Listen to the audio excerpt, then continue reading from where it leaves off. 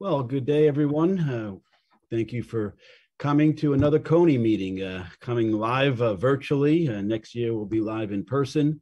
Uh, but I think you'll see we have a wonderful program for Parkinson's disease, both today and again tomorrow, focusing on some key controversies in our field. And I think we have an esteemed faculty that will be able to uh, navigate some of these topics, debate them fully, and, and allow um, participants to uh, vote and then see how we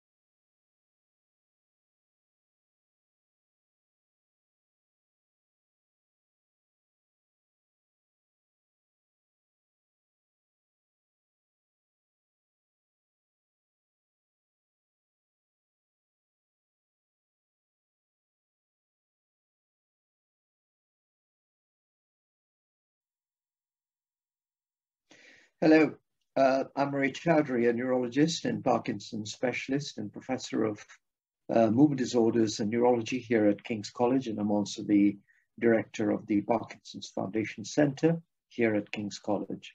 I'm delighted to have been asked to fight against my friend and colleague, Professor Angelo Antonini, uh, talking about this very emotive subject of whether COVID-19 infection and the pandemic that we've had will lead to an emergence of um, a lot of cases with Parkinsonism, and I'm I'm taking the yes uh, aspect of it. Um, and these are my disclosures uh, for your perusal. And I'll go straight into the first slide, which is a vignette of uh, my various times with Professor Antonini, who of course will make the case that, um, that firstly, uh, um, any sort of acute intervention such as surgery or infection might unmask Parkinsonism. So COVID has unmasked Parkinson's. What's, what's so great about it? He will probably also touch upon the fact that uh, epidemiologically, if you expect a certain number of cases to occur from what we know about the prevalence of this condition And if we then think that COVID-19 would have affected large part of this population, it's unlikely to show that there's an epidemiological increase uh, in the number of cases of Parkinsonism following COVID. But my argument is a little bit different. I will look more on the fact of the etiopathology of Parkinson's and how the SARS-CoV-2 virus might have a specific effect on the dopaminergic neuron and the fact we cannot really predict therefore the future. Well, firstly, it's well known that various viruses and pathogens can increase the risk for Parkinson's. Of course, the critics will say it's unmasking the signs of Parkinson's. Nevertheless, the fact is we do know, for instance, with Coxsackie, with hepatitis C, with um, HIV, there has been reports of post-infectious Parkinsonism, clinically similar, but not, not, may not be totally identical to what we see as idiopathic Parkinson's. What we also know that during the 1918 flu, the Spanish influenza, which has a lot of similarity to COVID, um, we also thought that it will end in 1918 when the pandemic rate subsided, but in fact it didn't. We know that there was a chronic effect, and this chronic effect could also be true for COVID, which we haven't realized yet, because as you know, neurodegeneration has a long prodromal period. And in fact, if we look at the lessons we learned from Spanish influenza, it led to the uh, encephalitis lethargica syndrome, which was, which was uh, recognized as post-encephalitic with influenza-like prodrome. And we also know, this is very interesting, that people who were born during this period when there were a lot of these uh, influenzas, they had a two to three times increased risk of Parkinson's during this period. Therefore, whether there will be a similar event after COVID cannot certainly be ruled out. And this cannot certainly be ruled out if we think there's a pathophysiological basis to this concept. Is there a pathophysiological basis? Well, firstly, we now know that the influenza virus, H5N1 in this case, can enter the central nervous system, can cause neurodegeneration via neuroinflammation. And here are uh, various pictures, which I don't have time to go through, showing um, uh, the aggregated alpha-synuclein and activated microglia in a uh, uninfected um, mice versus the infected mice. So you can see that already the pathophysiological evidence, but this is influenza. What about COVID-19 or the coronavirus itself or SARS-CoV-2? Well, firstly, a most recent paper from uh, Nature in 2022 showing that SARS-CoV-2 has approximately 2% reduction in the brain structure. And this brain structure reduction falls a lot on the olfactory pathway, the, the parahippocampal gyrus, but also uh, involves some of the midbrain and the limbic structures, which are intimately and closely associated in the pathogenesis of Parkinson's. Not just that, we also have clinical evidence, which Professor Antonini is an author in, showing that post-COVID, the so-called long COVID syndrome is quite prevalent in Parkinson's. And in fact, this therefore suggests that the virus can persist in the, in the condition and can cause symptoms typically three months after the initial uh, infection, which might even be asymptomatic. We also know, and this is again Professor Antonini's work with ourselves, that there are links with Parkinson's from bench to bedside. He's an author in this paper. And what does he and uh, we all say? Well, firstly, we see there are four possible routes where the uh, viral induced Parkinsonism might occur. And while three of them are indirect and could be related to encephalopathy, hypercytokinemia, as well as loss of vascular integrity, but also the pivotal role of the angiotensin converting enzyme 2 enzyme receptors hypoxic brain injury, but also possibly a direct tropism from basal ganglia replication and neuronal lysis. And this is again further borne out by that nature paper that I just showed you. And there are some further more evidences, and this is perhaps the fact that hyposmia is a well-known associate of COVID-19, and hyposmia is a well-known prodromal feature of Parkinson, and this study, which specifically looked at hyposmic COVID infected people, you can see moderate, severe, and as bad as, as it can be, um, hyposmia is rated by a substantial proportion of people, therefore highlighting the importance of the olfactory pathway and possible neurotropic potential activating through the ACE2, NRP, NRP1, and TMPRSS2 receptors. These are all olfactory epithelium and enteric nervous system uh, uh, regions. And as you know, again, the dual hit hypothesis is also popular, popular now, particularly the body first hypothesis for development of Parkinson's. So there is another potential positive route of a dual hit, not just the olfactory pathway, but also the gut. And this then can bind to the ACE2 receptors. I would like you to look at the middle section of the right.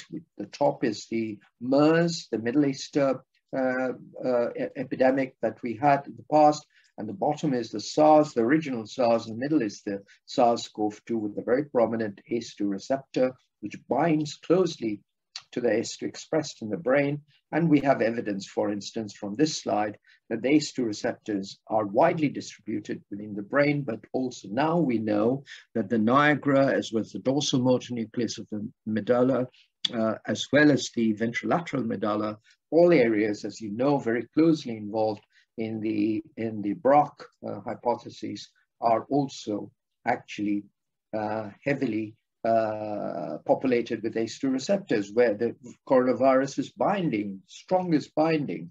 And this has been nicely put together in, which could be my topic really, in Patrik Brundin's uh, review paper showing the, the cascade of pathway, vascular damage, systemic inflammation, neuroinvasion, this could be acute, and then there is a long-term effect, which is what I'm going on about. So epidemiology and the current acute scenario cannot really predict the long-term effect, and, and there are enough pathophysiological substrates we talked about that can be relevant here. T-cell in, infiltration, macroglial activation, astrocyte activation, loss of striatal dopamine, and there is also evidence that in marmoset, at least in one study, when SARS-CoV-2 infection can actually include intracytoplasmic inclusion, which mimics uh, Lewy bodies.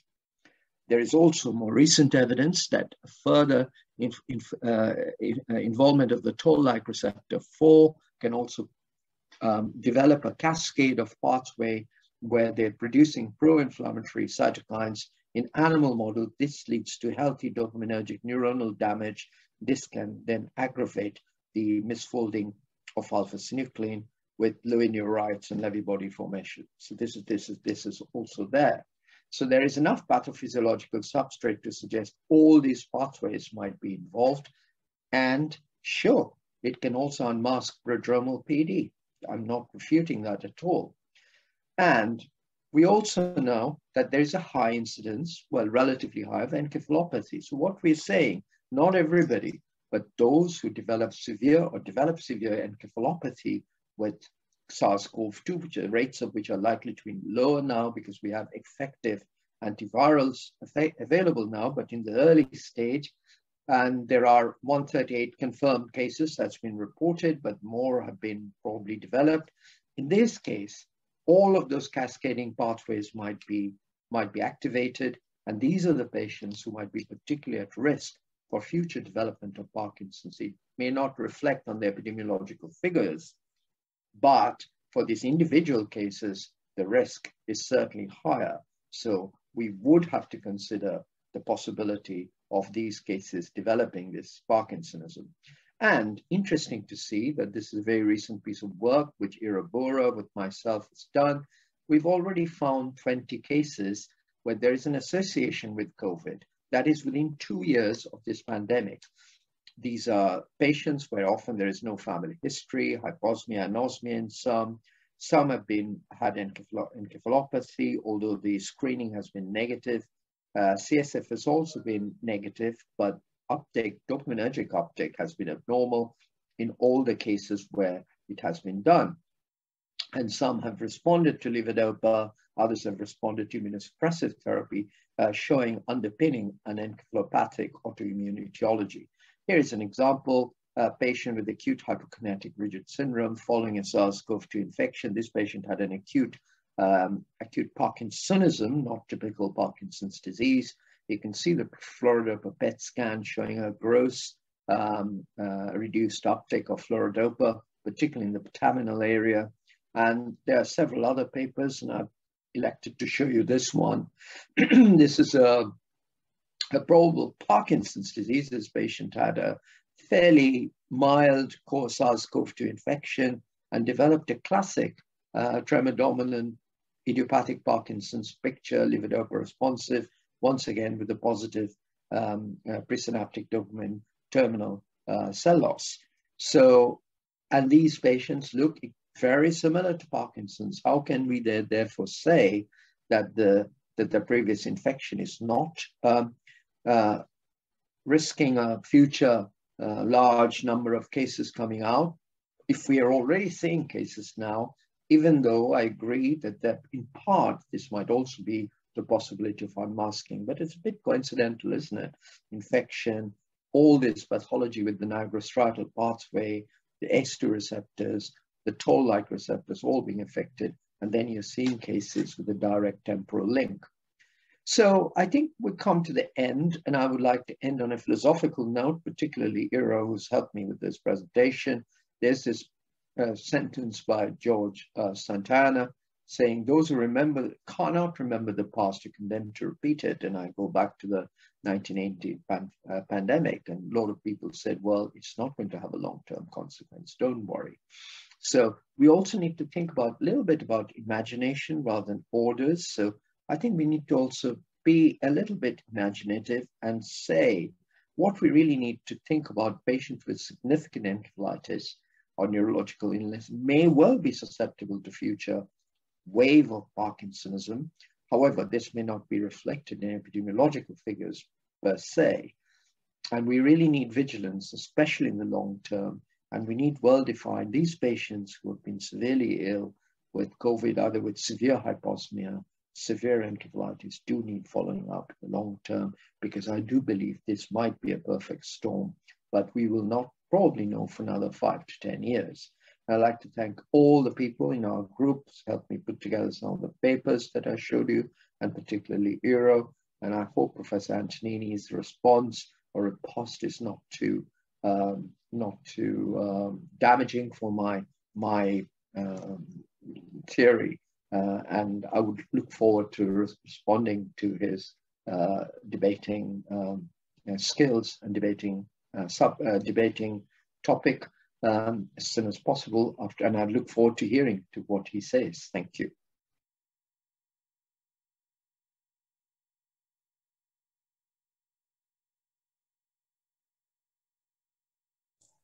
Hello, everyone. Good evening, and uh, thank you for attending this uh, COVID debate. Uh, I'm uh, uh, Professor Angelo Antonini uh, from the Parkinson and Movement Disorder Unit at the University of Padua in Italy.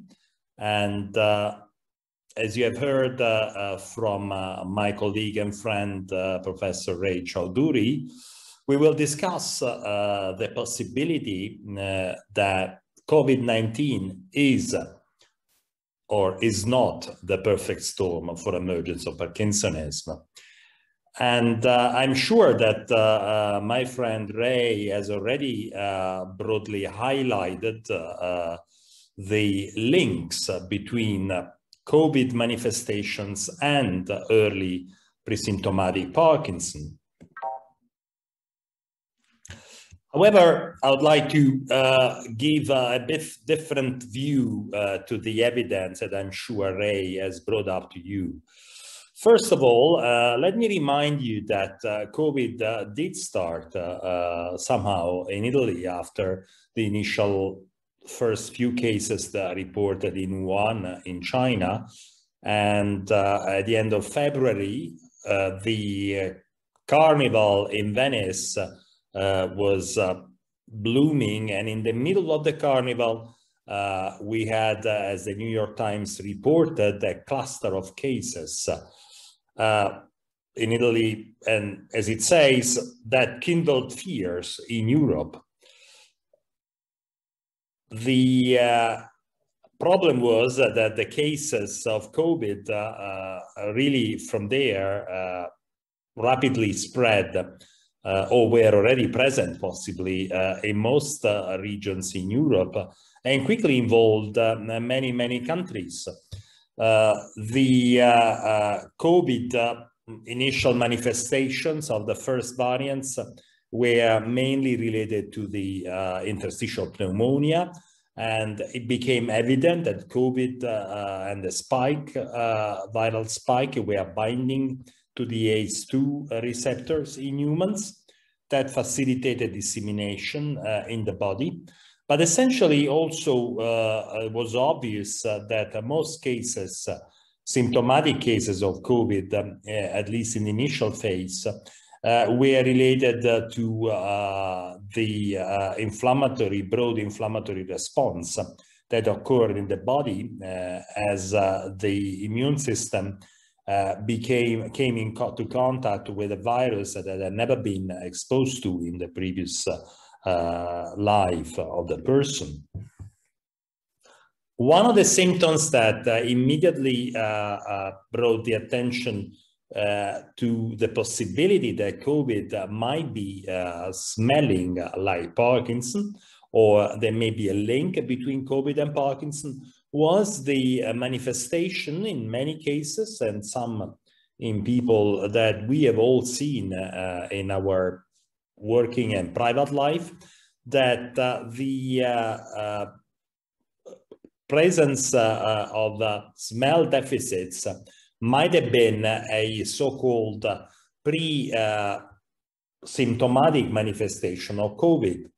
In other words, uh, the COVID virus and the spike were inducing an inflammation in the uh, neuroepithelium, leading to the development uh, uh of uh, uh, loss of smell, which resembled somehow the loss of smell we frequently observe in Parkinson patients some years or decades before motor onset. So I'm sure that Ray has already broadly discussed this and brought this to your attention as an argument favoring the possibility that uh, COVID might trigger a symptomatic uh, manifestation, which is similar to the onset of Parkinson's disease.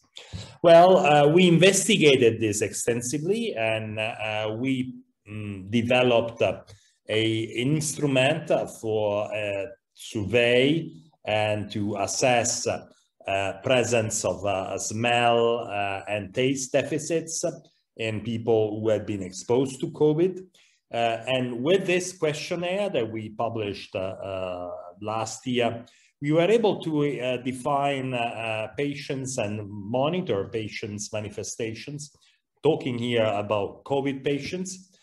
And we also, uh, quite interestingly, uh, discovered that many people were declaring that their smell uh, was normal or had returned to normal. But if you were testing smell function with a sniffing stick, among those who were reporting relatively normal uh, functionality, there were a significant proportion, about one third, were still manifesting deficits uh, using uh, a sniffing test. And similar, among those uh, who were saying uh, that they, there was a relatively uh, normal olfactory dysfunction, uh, many uh, were uh, having actually olfactory deficits at a sniffing stick. So there was a proportion of people who were normal at a sniffing stick, but they were declaring to have olfactory dysfunction. And another subset, even richer subset, who had after three, six months after COVID, were reporting normal function, but indeed they had uh, uh, olfactory deficits. So this is uh, just to remind you that if you rely solely on a patient or personal reporting, you may be misled by the fact that many people continue to have the perception of persistent disturbances, but their smelling test will be normal, and others um, who indeed do have uh, olfactory dysfunction, uh, even three, six months after uh, COVID, and they perceive this as relatively normal.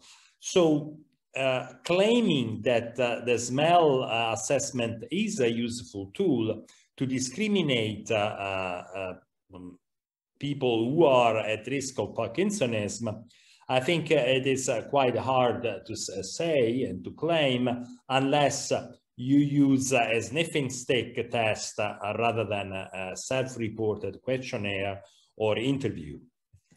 Now, one of the arguments favoring the link between COVID and Parkinson was that if you have a problem with your neuroepithelium and uh, the neuroepithelium and the olfactory nerve, may represent uh, uh, an entry point to into the brain of the virus, which would lead potentially trigger to an inflammatory response in the brain and eventually to the disease.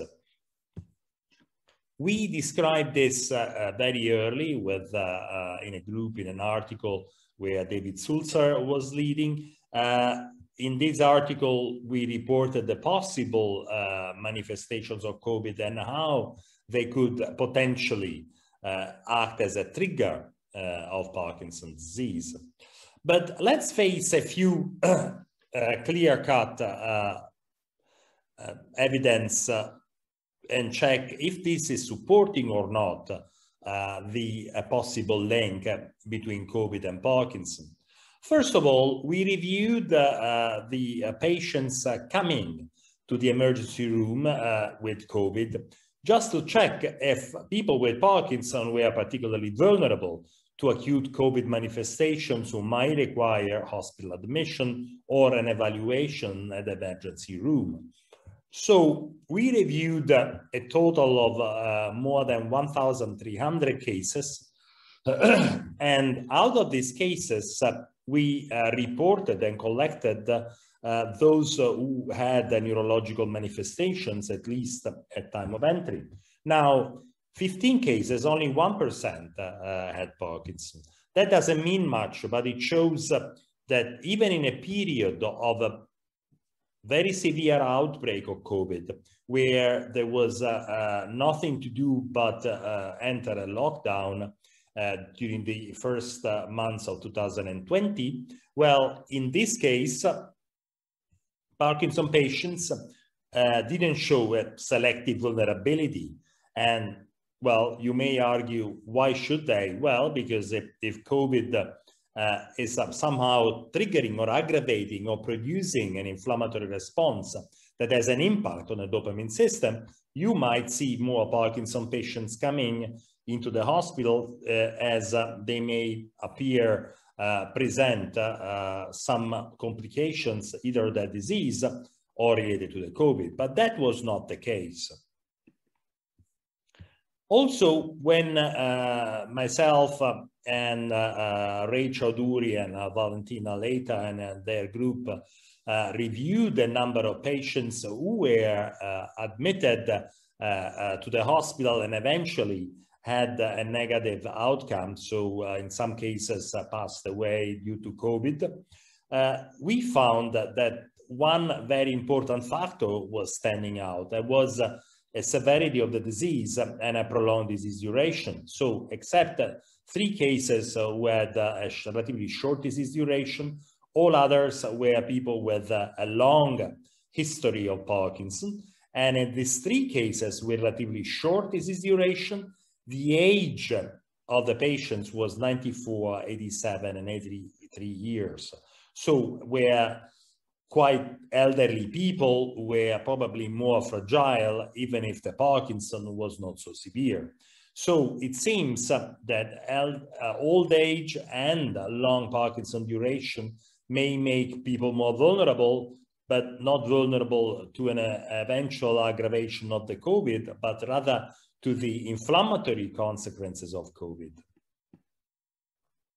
Four of these patients passed away, by the way. Uh, I uh, reviewed another uh, uh article uh, appeared in the journal Neurology last year, where the fate uh, of Parkinson patients who suffered from COVID was reviewed.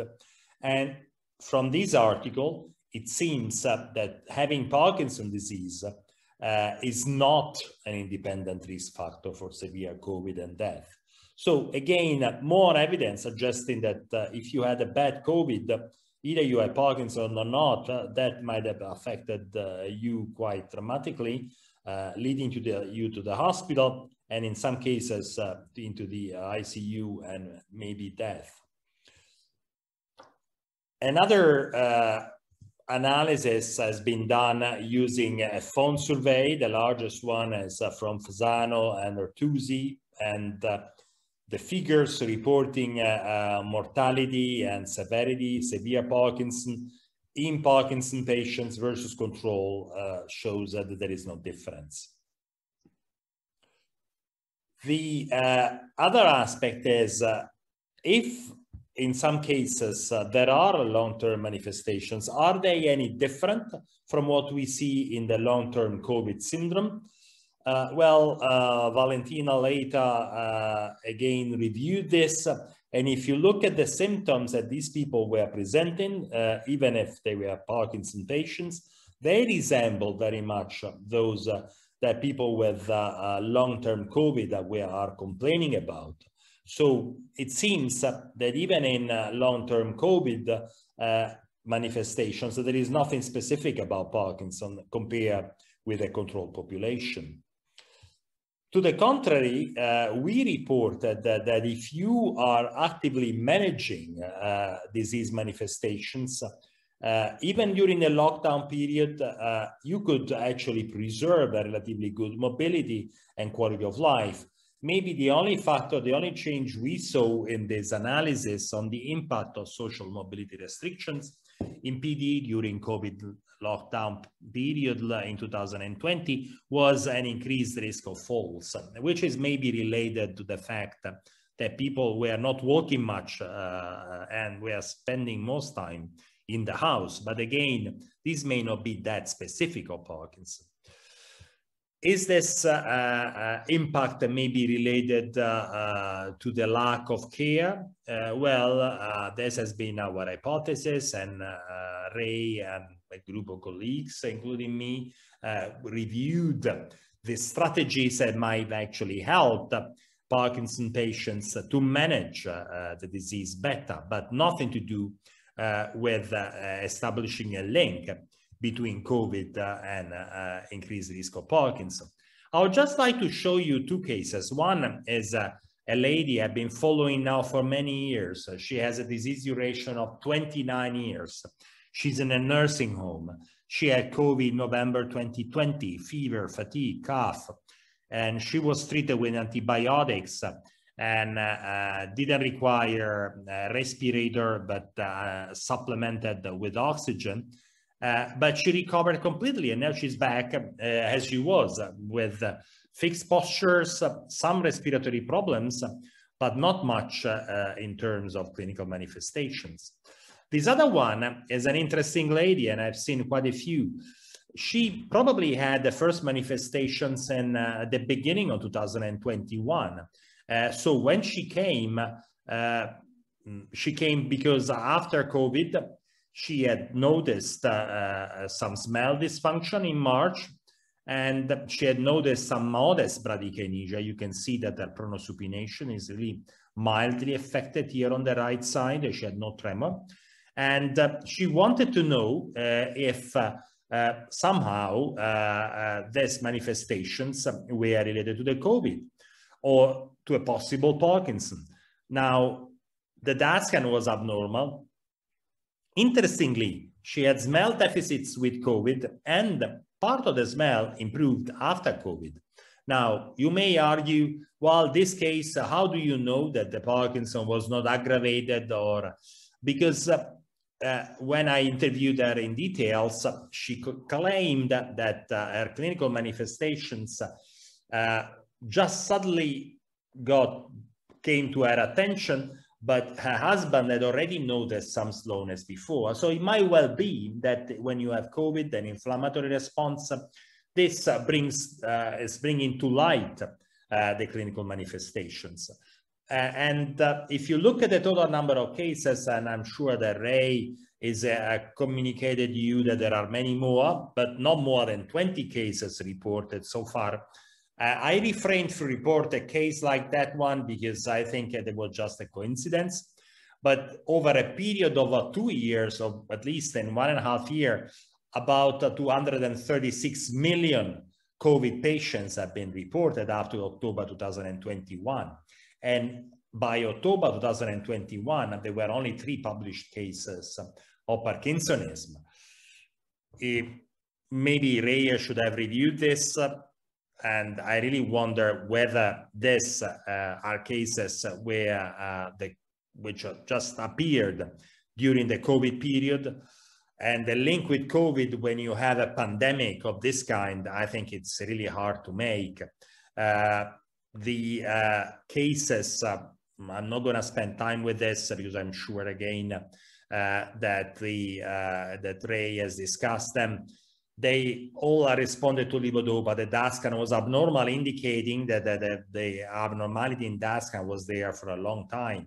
Uh, and these uh, changes are certainly uh, not uh, occurred uh, uh, in a short period.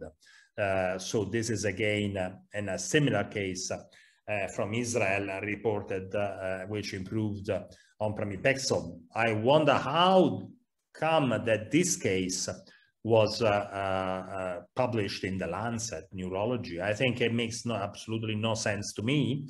Um, I refrain to report that lady, and I think if you interview them in details, these people uh, would tell you that they had abnormalities uh, well before uh, COVID or maybe shortly before COVID. And the COVID infection just brought this to clinical evidence. So with this, uh, I would like to close. Uh, this is my team, and uh, I'm very happy to take questions and discuss with you this very interesting topic and hopefully have a, a, very nice debate and a fantastic uh, CONy meeting. Thank you very much.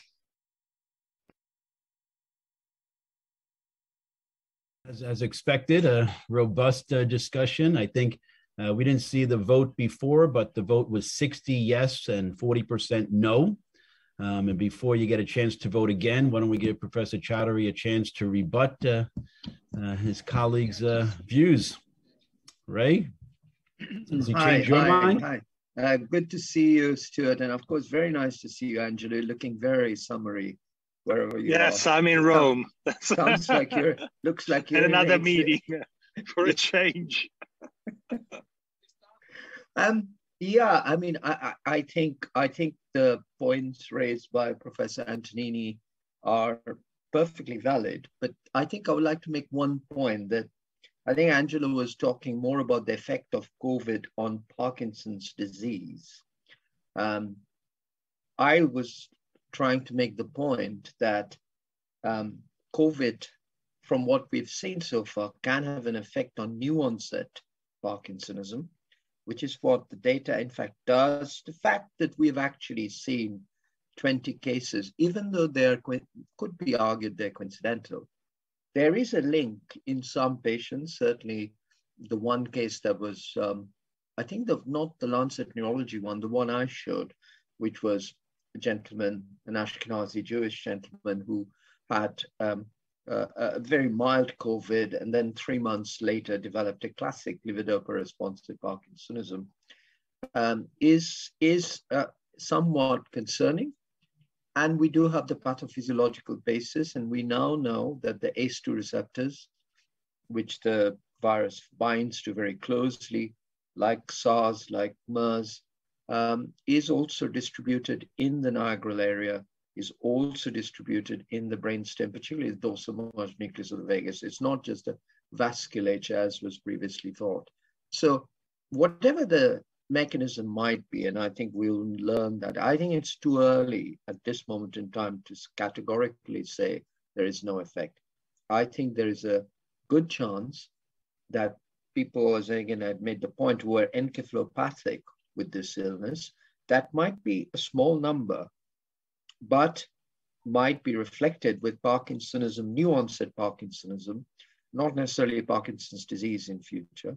And I don't think we can absolutely rule it out uh, with the evidence that we have. And let's not forget that going back to the mid 90s, uh, there was a very nice paper from Stan Fahn and colleagues showing that the effect of coronavirus, but of course not SARS-CoV-2, could be uh, could be manifest in the CSF and stays in the CSF and has a direct, direct nigral action, uh, toxic action. And we've seen this with influenza as well. We've seen this with HIV as well. So I think there is a pathophysiological basis where whether or not that will translate to epidemiological basis, I don't know. But I still think that we can't rule this out completely.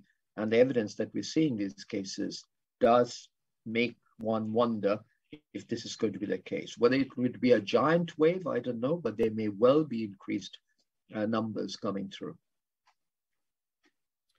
Angelo? Well, uh, no, thank you, Thank you, Ray.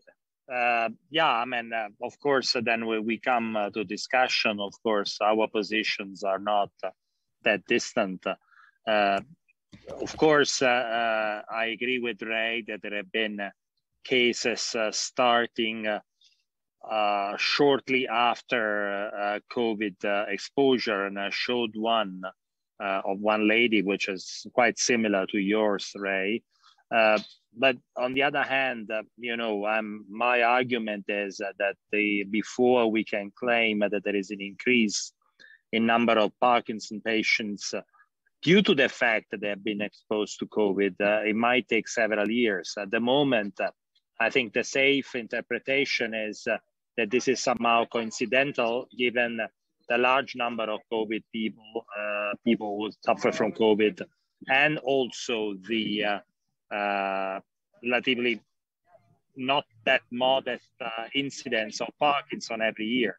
But uh, overall, I think uh, there is uh, both presentations uh, we are focusing on increasing vigilance and surveillance Uh, on the fact that maybe there is a link in some selected cases.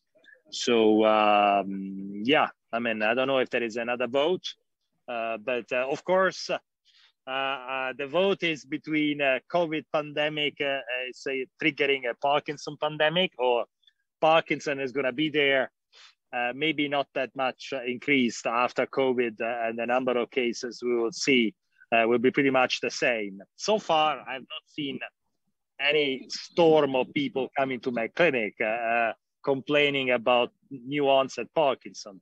The same incidents I saw in the past, but this is anecdotal, of course. Well, we definitely are going to vote again, but uh, we have a question that came in. Um, so let me ask you both, uh, whoever. Um, if COVID 19 will increase Parkinson's, do you think it's causal? Do you think it's a second hit type of idea? Or do you think it's unmasking uh, Parkinson's that was going to come out eventually in a couple of years? Or do you, I think, Angelo, you think it's completely coincidental? No, I mean, I mean, sorry if I uh, step in, uh, Ray. I think it is both unmasking and coincidental. So we know that anytime, uh, you know, this is quite common for people with Parkinson. They tell you, you know, I had a surgery, I had a general anesthesia, and then I woke up, I had a bit of a tremor.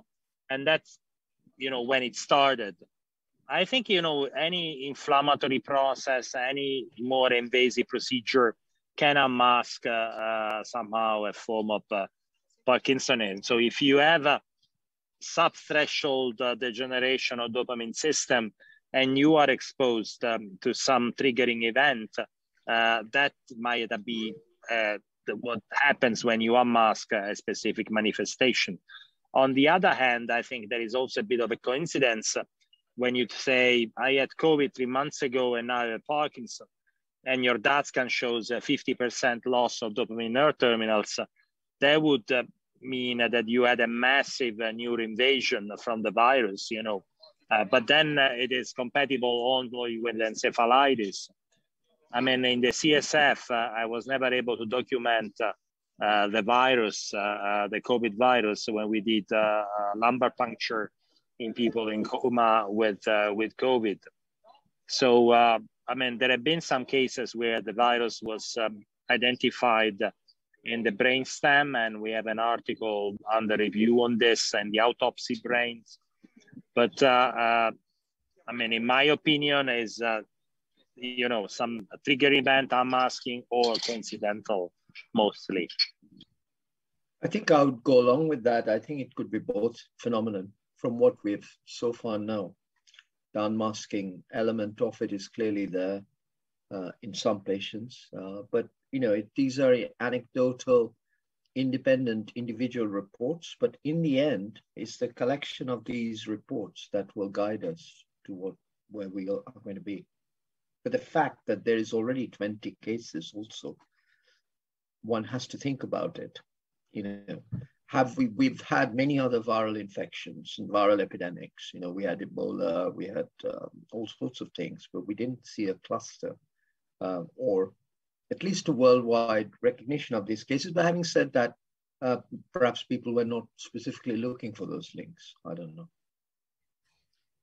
Ray, you pointed out some uh, substantia nigra pathology. Do you think the constellation of symptoms from COVID 19, if it uh, leads to Parkinson's, will be more motor, or you think you'll see the similar non motor component or, or more non motor? Well, again, as I think Angelo mentioned this as well, we have this, we have seen the so-called long COVID spectrum in Parkinson's as well.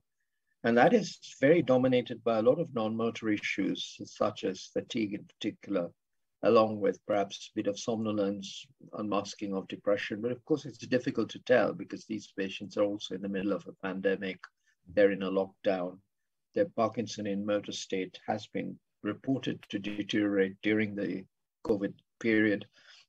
So there's a mixture of things, but I suspect that also the olfactory deficit is another non-motor aspect of it. But I suspect that there will be equal smattering of motor and non-motor, and maybe though it might be more weighted towards non-motor.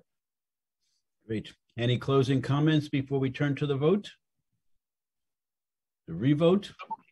Revote. Like America, we revote. Revote. All right. Well, thank you both. We'll see you later in the debates today. And um, let's turn back now to the vote and see who swayed.